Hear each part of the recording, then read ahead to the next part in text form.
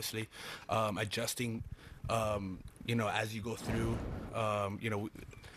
We face uh, these guys, you know, not not necessarily but Angels, but like our division a couple times during the year. So I feel like adapting and and and trusting um, what you've done in the past will get you through. How are you able to identify what you need to adjust and then actually go ahead and make those in-game adjustments? Yeah, I mean, like uh, there's been a few games where you know my game plan hasn't hasn't probably worked for the first few innings, um, and then obviously adjust through that and and go a different route. Um, and once they start, you know, taking that away, then you could probably go back to your strengths and back and back to the game plan that you've done uh, before the game.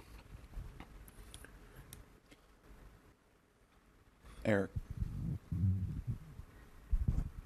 Nestor, do you take any additional pride in beating a guy like Ohtani?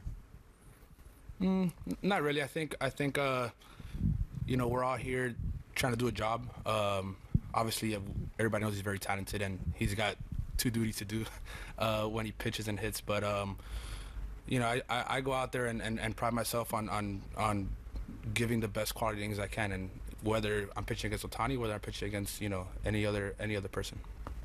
Christy. Can you give us a kind of an example of how you adjusted and adapted today? Because it seemed like you got a little bit easier for you as it went on.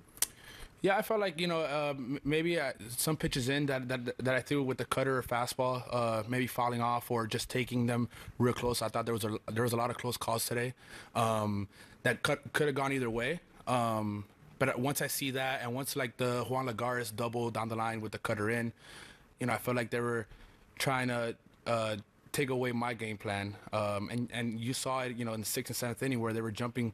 Get I was getting quick outs because of that because they were trying to beat me to my strengths. Um, and you know, I, I executed the pitch a little better.